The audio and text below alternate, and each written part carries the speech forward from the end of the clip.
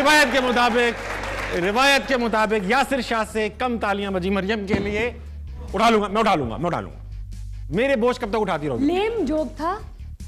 तुम्हारे बोझ बस क्या करूँ? शो का बोझ उठा रहा है तो चलाना पड़ रहा है तो